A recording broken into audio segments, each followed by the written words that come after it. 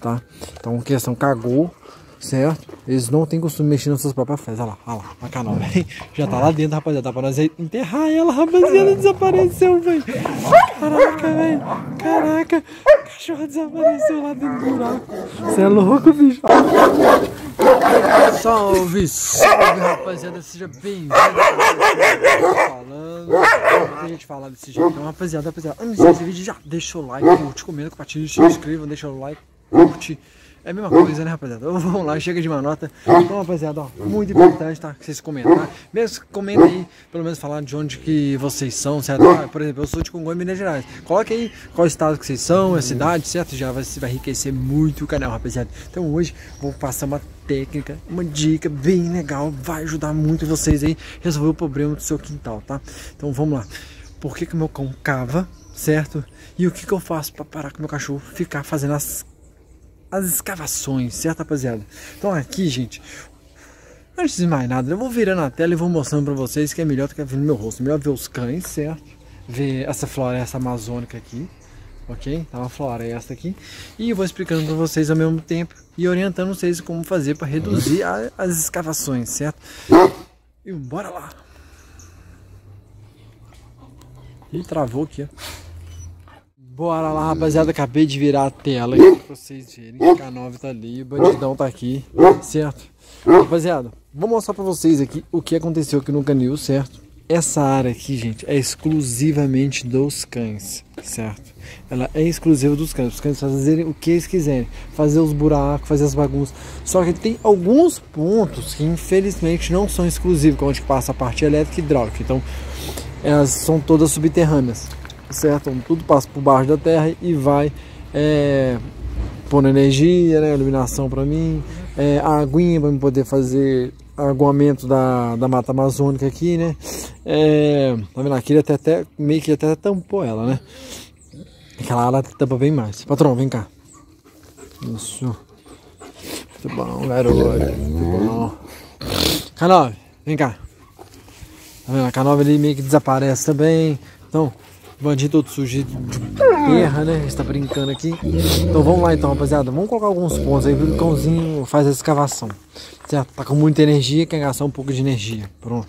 A gente não passeia, a gente não anda com o cachorro. Então, eles têm que fazer alguma coisa para gastar um pouco essa energia acumulada, né? Então, isso é muito importante, tá, rapaziada? Mas aqui tá cheio de pila, tem que dar uma escovada nela. Eu já tô até com a escova aqui na mão para escovar ela, rapaziada. Aqui a escovinha que tá na mão. Então, rapaziada, então, outro ponto também. Às vezes o cãozinho tá sentindo calor, né? Esse aqui é um lugar fresquinho, né? Mas hoje não tá calor, rapaziada. Hoje não tá calor. Então, hoje é porque realmente eles querem gastar suas energias. Outro ponto, rapaziada já é extinto, certo? É instintivo do cão. Então o cão gosta de brincar, gosta de fazer bagunça, quer gastar um pouco dessas unhas gigantes, né? E vamos que vamos. Então, rapaziada, passei alguns detalhes, né? Porque o cãozinho gosta de fazer as escavações, né? Fazer os buracos. Então, aqui eu vou mostrar alguns pontos que passa energia elétrica, certo? Ali, ó, tá vendo que tijolo ali na ponta do meu dedo? Ali tem um, uma caixa de distribuição, certo?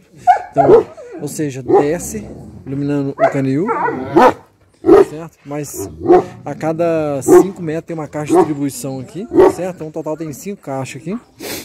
Mais ou menos cada 5 metros, mas é mais ou menos, tá rapaziada? Porque senão vocês vão começar a calcular e medir o canil vocês vão, vocês vão atolar a carroça aqui, não é exato não. Então vamos lá.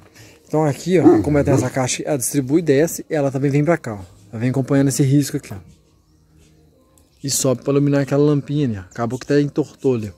Depois, ninguém detalhe porque entortou, mas não precisa entrar em detalhe não. Aqui eles começou a fazer a escavação. Pode ver que eu aterrei aqui já, certo?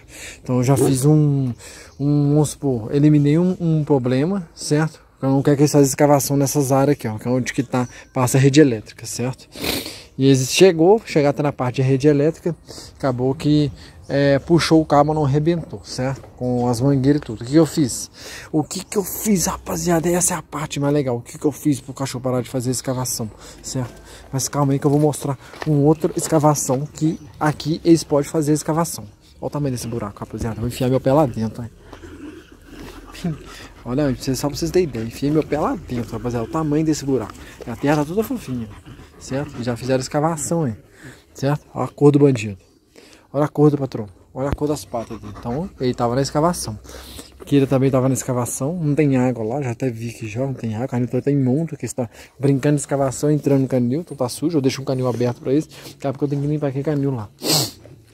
Então acontece, rapaziada. Rapaziada, não repara nesse mato aqui. Eu já trouxe já a roçadeira. Eu roço 3, 3 em cada 3 meses, certo? E antes de eu também falar o que, que eu faço para poder acabar com os buracos, esse buraco eu falei. Esse aqui eu deixei porque não passa a parte elétrica aqui, então eles podem fazer a bagunça deles. Aqui eu tive que cercar, né? Fazendo mais um detalhe, aproveitando o momento aqui, eu tive que cercar, né? Porque eles destruiu. Esse pé aqui tava com um metro e meio para cima, tá, rapaziada? Esse aqui é pé de é, abacate. Ele destruiu e ele brotou de novo, graças a Deus eu cerquei ele em volta, certo? Agora se vocês quiserem entrar lá, vai ter que rasgar o peito todo para poder entrar. Então, rapaziada, o que, que eu fiz? Peguei as fezes dele, tá vendo? Já vendo, tô achando uma fezes aqui já, certo? Aonde tem fezes, eles não mexem. Que são bastante higiênicos, rapaziada. Não dá pra acreditar. Vocês é higiênico? Não é, não pode. É mentira. Olha a cor de vocês. Se vocês fossem higiênicos, vocês não estariam suja assim. Olha a cor dessa cachorra. Ela tá marrom, é uma cachorra preta. É uma cachorra preta. Não é higiênico. Mas, ou seja, tecnicamente eles não mexem nas suas próprias fezes, tá, rapaziada? Tá? Então, questão cagou, certo? Eles não têm costume mexer nas suas próprias fezes. Olha lá, olha lá, a canal, velho. Já tá lá dentro, rapaziada. Tá pra nós enterrar ela, rapaziada. Desapareceu, velho. Caraca, velho. Caraca. A cachorra desapareceu lá dentro do buraco. Você é louco, bicho. Ai, nem fala. Canal, entra aqui, vem cá. Canal, entra aqui de novo, vem cá. Entra ali, vai lá dentro, vai lá dentro. Entra, canal. Entra aqui, vai lá. Vem cá, canal. Vem cá. Entra lá. Não vai entrar não. Caraca, canal ficou do lado dentro. Bicho. Você é, você é pequenininho, dá pra enterrar você. Se você morreu, vou enterrar você ali, tá? Ali vai ser o seu, o seu, o seu cemitério, viu? Fica preparar se esse buraco existir ainda. Mas enfim, rapaziada, o que, que a gente fizemos? Pegamos as fezes. Vamos supor que eu não quero que ele faça buraco aqui mais. Pega a fezes e coloca aqui, ó. Junta todas as fezes e coloca aí dentro. No primeiro dia, se você tem uma área igual essa assim, ó, pode deixar na exposição, certo? Já no outro dia, já tampa com terra. Certo? Aí que eu fiz aqui, ó. Joguei a terra em cima. Tá vendo? Joguei a terra em cima, as fezes tá aqui, aqui, ó. Tá tudo aqui, ó. Tudo espalhado, cheio de fezes aqui, ó. Espalhei as fezes aqui. E ali também, ó. Olha lá, bandido. Não para de mastigar a terra, ó. É o come terra. Aí peguei aqui da mesma coisa. Tem umas fezes acabou que nem consegui tampar ela toda, certo? E essa terra, como é que é descida, rapaziada? Essa terra desce. Certo? Ela tem gramar tudo, tá vendo? Aí eu vou roçar isso aqui ficar bonito, bonitão. Então, rapaziada, solução para seus problemas. Fezes coloca no lugar e joga um tiquinho de terra? Não, não joga muita terra, não, que eles têm que sentir o cheirinho. Apesar que eles têm um, um, um, ou seja, um faro violento, né? Que sente até a 15 metros de distância, eles conseguem sentir o cheirinho com facilidade. Então, olha lá o bandido lá, já tá fuçando lá já terra, a cor do focinho dele. Tá todo sujo, todo, todo focinho sujo. Detona ele detona ele aqui, pega ele. Detona ele, esse chato. Então, rapaziada, essa é a dica, rapaziada. Vai ajudar vocês. Ah, André, agora dá outra dica aí sobre as plantinhas. Então, vou aproveitar em bala aqui, ó. As plantinhas, rapaziada, para não se gente tem plantinha que é atrativa mesmo, certo? Tem plantinha que é atrativa. Você tem que estar ligado que plantinha já é atrativa. Meu pé de abacate aqui, ó. Esses vagabundos é, usou para brinquedo destruiu e tudo. Ficou só um pedaço do toquinho, certo? Só um toquinho lá embaixo. O toquinho brotou e cresceu de novo. Eu aproveitei certinho, certo? Eles estavam de castigo, os filhotes. Os filhotes que destruíram. Então, rapaziada, bandido. Não, bandido.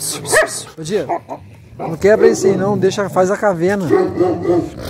Aqui ele vai matar o patrão, tá, gente? Aí se o patrão couber ali, nós enterra ele também. Apesar que vai ter que fazer um, um, um, buraco maior ainda. Então, rapaziada, é muito simples de resolver, certo? Expliquei vocês aqui, ó. Coloca a terra. Isso mesmo, mata ele aqui, pode matar ele aqui. Tá autorizado, pode matar ele. Ó, pisando rabo dele. Vamos ver se eu dou conta disso, rapaziada. Então, rapaziada, então vamos dar mais umas dicas pra vocês aqui para ajudar a reduzir um pouco essa escavação, certo? Essa é uma dica, ela é top, tá, gente? Resolve em mil por cento. Agora, outras dicas, como vocês é, provavelmente o cão ainda precisa de gastar essa energia, tem que passear com o cão, tá rapaziada? Tem que dar um rolê, tem que passear com esse cachorro, é, uma caminhada de 30 minutinhos pelo menos, vai de 15 de ida, 15 de volta, certo? Vai ajudar o cãozinho a desestressar um pouquinho, gastar um pouco essa energia acumulada, ok? Olha, estão se matando ali, então não me importo não. O que morrer, hein, se enterra depois, certo? Mas enfim, brincadeira, tá rapaziada? Estão só brincando só de, de força bruta ali ciúme, um de mim, né? Sempre quando eu chego eles começam. Quando eu não tô, eles não ficam assim não. Outro detalhe. A gente vai colocar pra vocês pra ajudar vocês aí.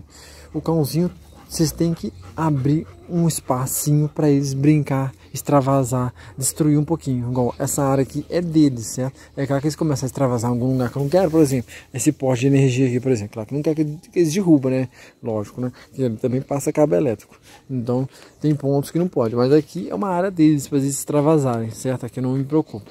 Mas, como tá em obra, a obra deu uma parada aqui na obra, que eu tô focado em outros lugares, então acabou que, infelizmente, essa obra aqui tá parada. Mas pelo menos consegui murar, né? Cercar, coloquei a baia tudo bonitinha ali, com telhado, eles poderem esconder da chuva, né? E de sol muito quente, então eles têm um pontinho. Então tem árvore aí também, ó. Tem bastante árvore, tá vendo? Algumas árvores caiu, mas não importa também, aquela ali já morreu também, ó. Caiu uma que tava aqui, aqui já vai crescer muito devagarzinho, que é pé de abacate, vai virar uma árvore daqui uns 10 anos. Então daqui uns 10 anos talvez esses cachorros nem tá aqui, talvez nem eu também. Mas enfim. Então, rapaziada, essas são dicas, gente, fundamentais. Dá um rolê com o cão. É, passear com o cachorro, gastar essa energia do cão, certo? Se divertir, né, bandido? Treinar o cão, levar para um adestramento, é, levar para um playground, é, ter socialização com outros cães, desestressar esse cão ter uma área exclusiva para o cão, certo? Tem que ter uma área exclusiva para o cão, porque para eles poderem extravasar, brincar, porque não adianta o cãozinho ficar só dentro de casa, certo? Ou no quintal, porque às vezes você não quer que destrua suas plantinhas, mas o cão não passeia, o cão não faz nada, o cão só é um sedentário, então o cão está com energia, o cão é filhote, então filhote principalmente, então eles têm mais energia ainda. Os adultos mais velhos é, são mais quietos, né? Mas os filhotes é, têm mais energia ainda acumulada. Vai lá, patrão, pega, patrão, vai lá, patrão, vai. Vai, patrão, vai, patrão. Top demais. Então, rapaziada, espero que vocês tenham gostado dessa dica, certo? Espero ter ajudado vocês. Então, muito importante vocês comentem, vocês compartilhem, vocês se inscrevam. Então, rapaziada, para ajudar a enriquecer o canal, certo? E vamos que vamos e até a próxima. Valeu.